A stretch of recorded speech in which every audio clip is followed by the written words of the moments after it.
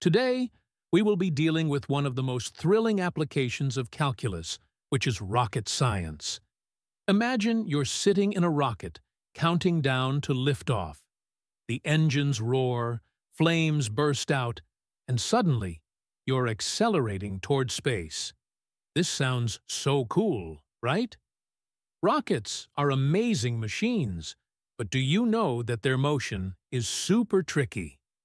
Now, what if I tell you that with just basic physics and simple calculus, we could predict exactly how fast a rocket will move into space? Wouldn't that be fascinating? Let's dive into understanding how a rocket works in a very simple manner, perfect for someone who's never thought about rockets before. Picture a rocket as a big tank filled with fuel. The fuel inside doesn't just sit there, it's burned up to make hot gases, which will then be ejected from the backside of the rocket to push the rocket in the upward direction. This is simply because of Newton's third law of motion, which states that every action has an equal and opposite reaction. So, this means that when the rocket pushes fuel downward or ejects it, the fuel pushes the rocket back with an equal force, propelling the rocket upward. Now the speed at which the fuel is ejected out is called r, which we will assume to be constant for our case. It simply tells us how much fuel the rocket uses every second. If r is 10 kilograms per second, that just means the rocket burns and throws out 10 kilograms of fuel every second. So, because the rocket is losing fuel, its mass keeps on decreasing as time passes by. At the start, the rocket has a total mass called m0. Think of this as everything. The rocket's body, its engines, whatever it's carrying, like astronauts or satellites, plus all the fuel. The structure part, or MS, is all the stuff that doesn't burn, like the metal body, the engines, and whatever the rocket's carrying maybe a satellite or people. This MS stays the same the whole time. The fuel part is what gets used up. It's the stuff that burns to make the rocket go. So, if M0 is 100 kilograms and MS is 30 kilograms, then the fuel starts at 70 kilograms.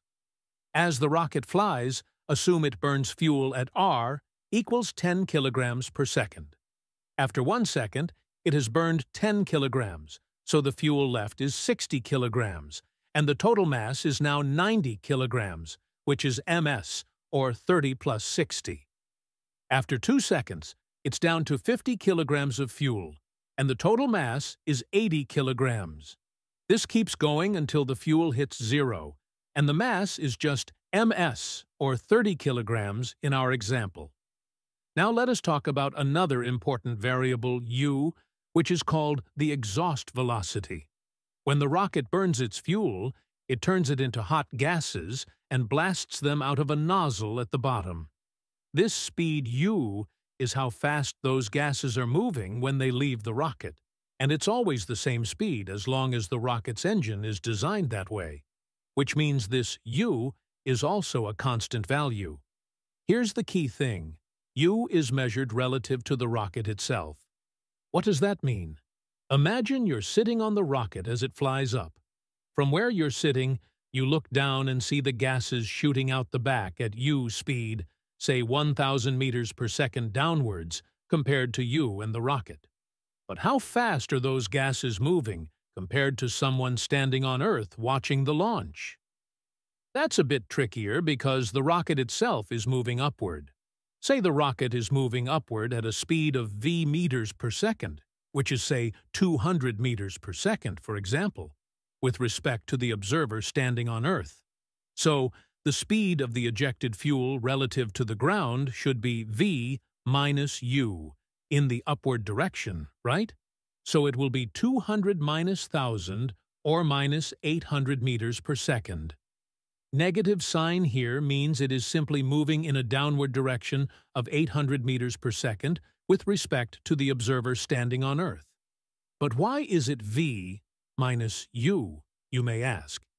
Suppose this rocket is moving along the y-axis at 200 meters per second, and we draw this line where y equals 0, and assume the rocket is at y equals 0 with respect to the observer standing on Earth. And at this moment, the fuel will be ejected by the rocket down at 1,000 meters per second relative to the rocket. So after one second, the rocket will be at this point where y equals 200 meters, right? And the fuel's position will be 1,000 meters below this point, right? Because the fuel speed of 1,000 meters per second is with respect to the rocket. So with respect to the rocket, it will be 1,000 meters below it. Therefore, its distance with respect to this point will be 800 meters, isn't it?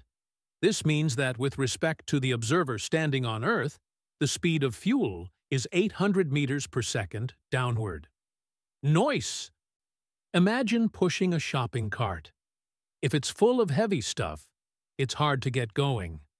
As you take stuff out, it gets lighter, and the same push makes it move faster. That's what's happening with the rocket. Its acceleration keeps growing as it loses mass. This goes on until the fuel runs out, also known as the burnout time. Once the fuel's gone, there's no more thrust, no more gases shooting out. Now, only gravity is acting, pulling the rocket down. It'll keep rising for a bit because of the speed it built up, but gravity slows it down.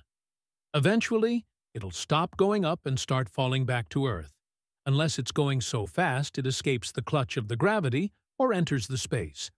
But that's the story we can cover next time. Finally, we need to understand one more concept of physics, which is none other than Newton's second law of motion, and we can then start to build our mathematical model. Imagine you're pushing a shopping cart. When you push the cart, which means when you apply the external force, the cart's motion changes. It speeds up or slows down depending on how hard you shove it. This change in motion, combined with how heavy the cart is, is called a change in momentum. Newton's second law simply says that the force you apply is equal to how quickly the momentum changes. Momentum is just mass times velocity, so if either mass or velocity changes, momentum changes too. Mathematically, the external force acting on the object, or Fe, is equal to change in momentum, or delta P, divided by change in time, or delta T. Now, here comes the real magic. Imagine our rocket moving upward. At some initial time, Ti, suppose it has a certain mass m, and it's moving at a speed v. So the rocket's momentum right now, or its initial momentum p, i, is m times v, right? Now after a very small time interval dt, the rocket ejects some fuel from the back of it.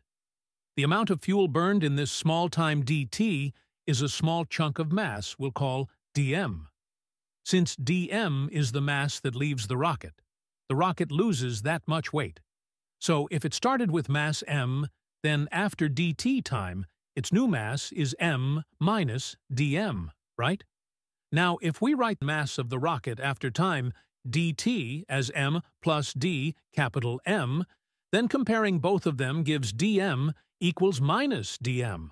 So in other words, it's just a way to say, the rocket's mass drops by that little bit d small m that got burned. Now, what about speed? The rocket started at speed v, but because it's pushing out gas and fighting gravity, its speed changes a tiny bit by the end of dt. We'll call that tiny speed change as dv. So the new speed of the rocket is v plus dv. So we can see that two things have shifted. Rocket, whose mass is now m, minus dm, and the speed is v plus dv. Also, there's that little bit of gas, dm, that got shot out from the back with the speed v minus u with respect to the ground as shown earlier, and both of them have their own momentum. Let's add up all the momentum at final time tf, which is ti plus dt. Rocket's new momentum will be m minus dm times v plus dv. Then there's the gas's momentum, dm times v minus u. So, the total final momentum pf will be this plus this. Expand this to get this, and expand this to get this. Oh, look, both of them cancel out. Also, this part is super, super tiny because they are simply two small changes multiplied together, so we usually ignore it.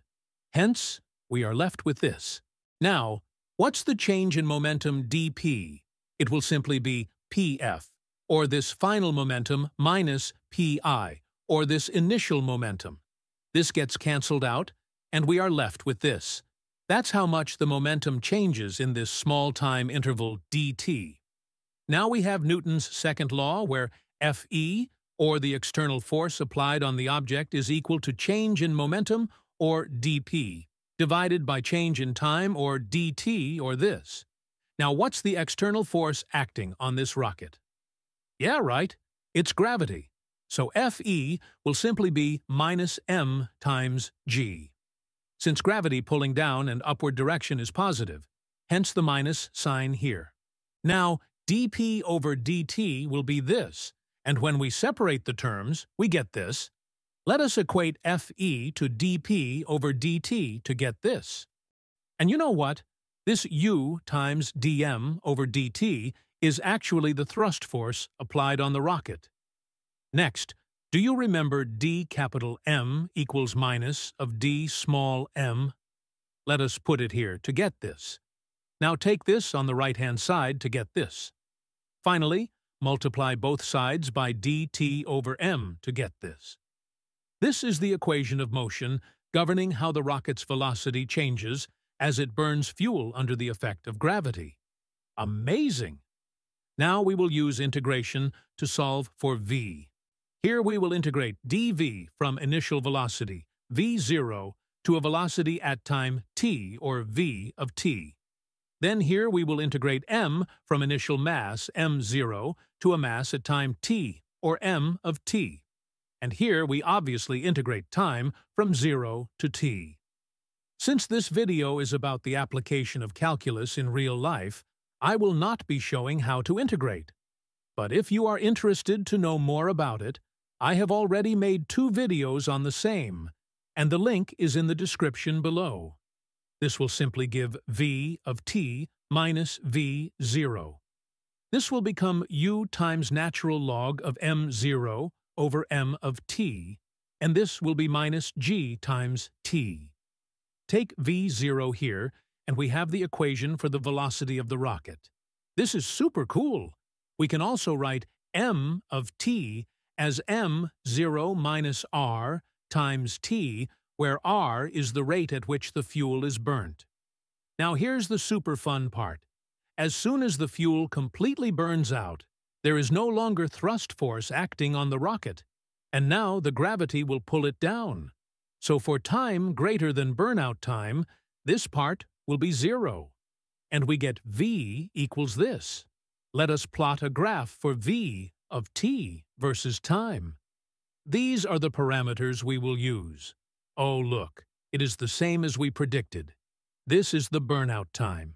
Before this time, the velocity increases, and then after this time, it decreases because of gravity. Let us look at one more cool thing. We can find the altitude of this rocket y of t with respect to the surface of the Earth, where y is zero when t is zero by simply integrating the velocity, because we know that distance equals speed multiplied by time. This gives y of t as this, and when we plot it using the same parameters, we get the same behavior as expected. It increases during burn, and it peaks post-burnout, then decreases. That was simply out of this world. Isn't this a miracle how calculus and the physics developed by Sir Isaac Newton shows how small changes create big impacts, shaping everything from falling apples to flying rockets. If this video gets 10,000 likes, then I will bring more amazing applications like this. So good.